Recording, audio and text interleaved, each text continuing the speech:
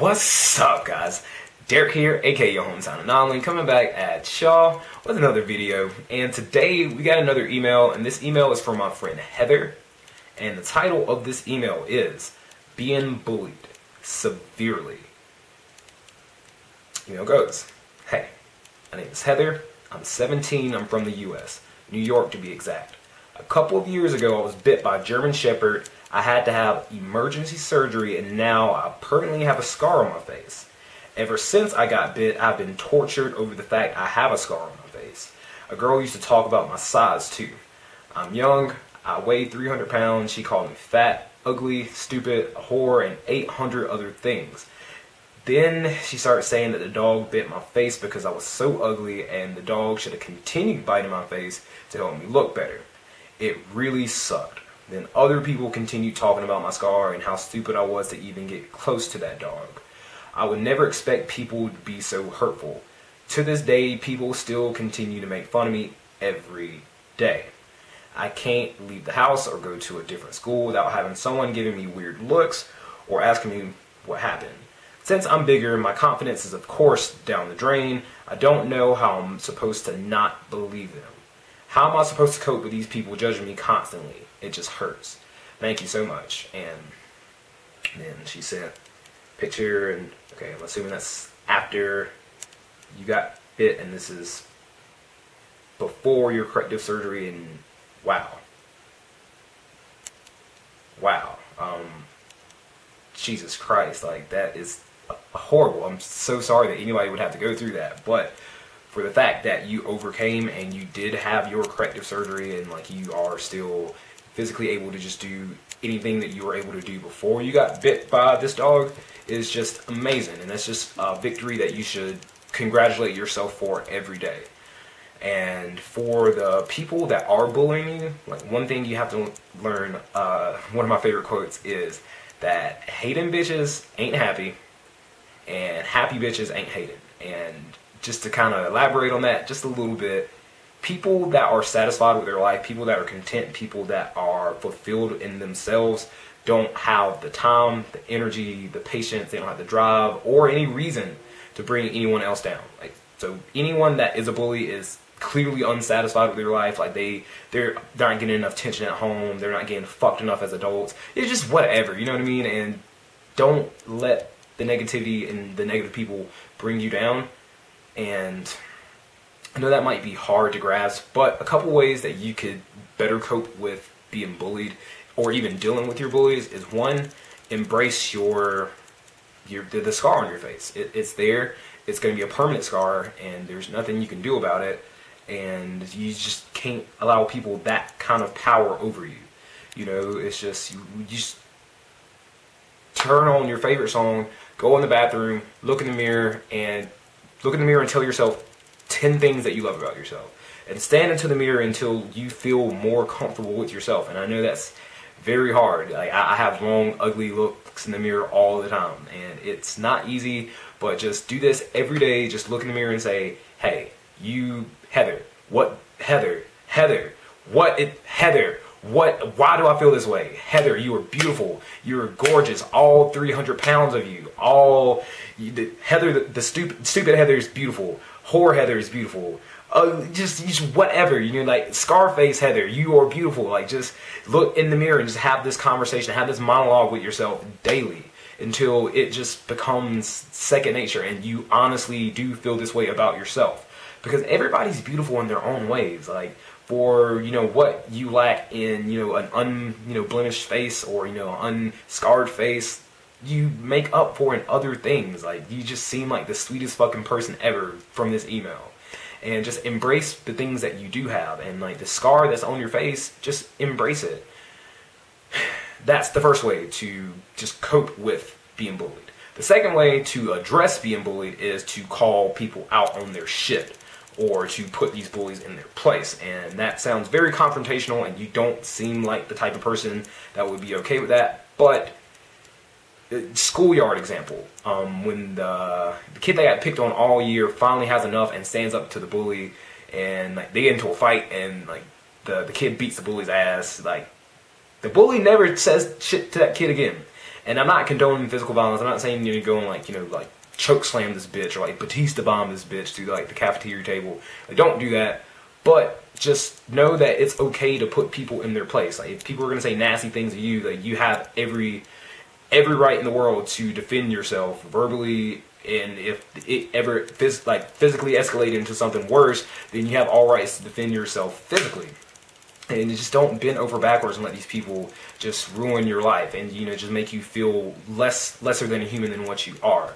And the next time you know she comes up to you and says, "Hey, you know, nice scar on your face, uh, you know, uh, nice scar, Scarface, or you know, hey Joker, you know, just whatever that these people would say to you, just you just immediately stop them in their fucking place and be like, yo, what the fuck's your problem, you fucking cunt ass bitch? Who are you to judge me? Unless you are perfect, unless you are without sin, you have no room to cast that stone. You have no room to judge me. I suggest you get the fuck off your pedestal before you have a really fucked up day.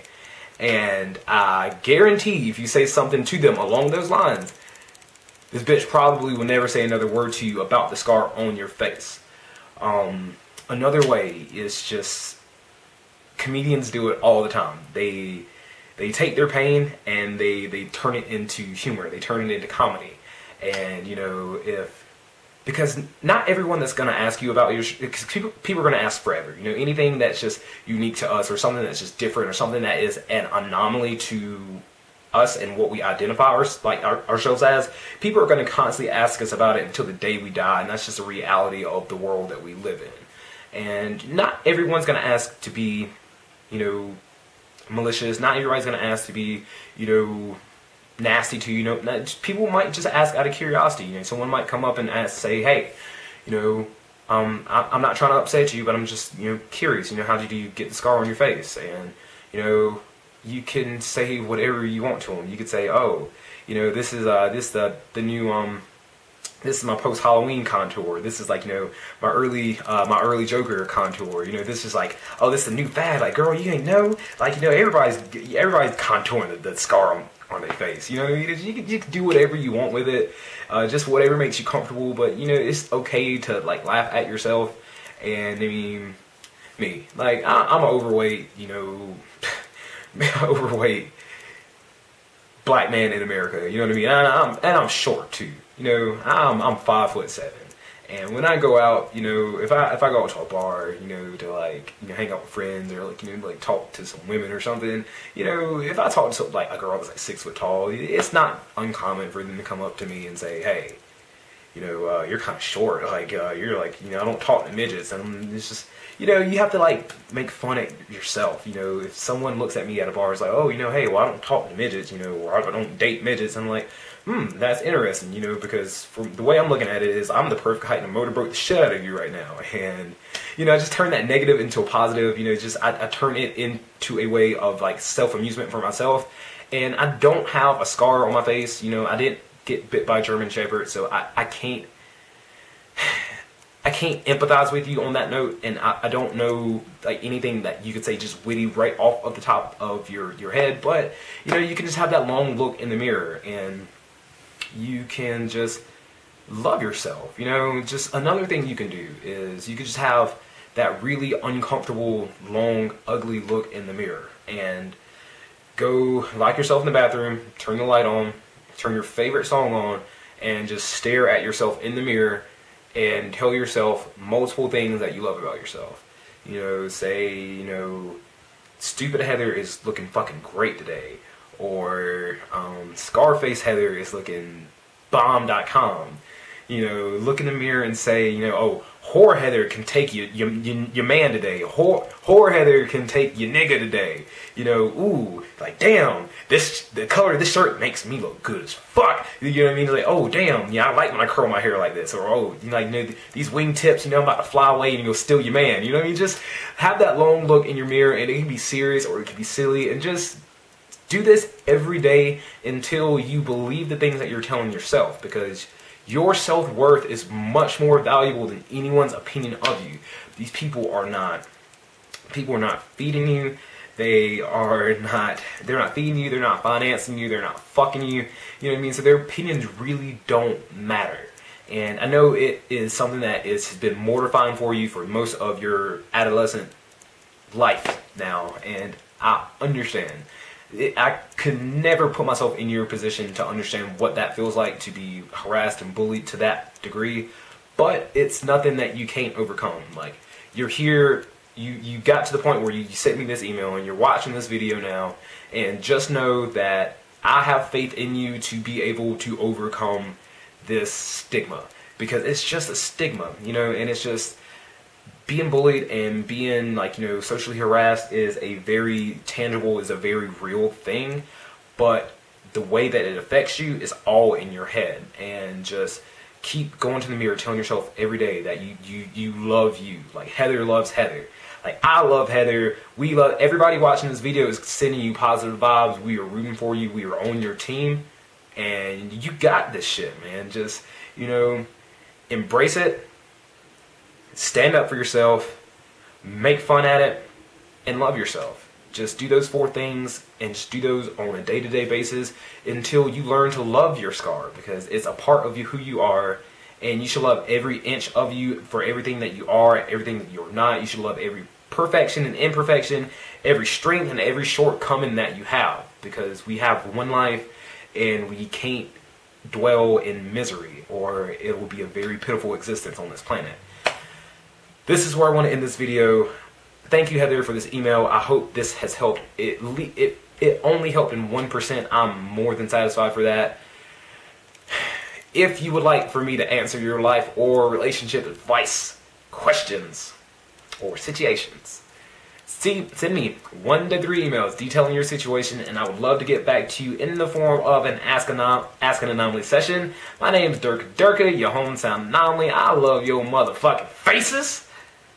Catch you guys tomorrow with another video. We out.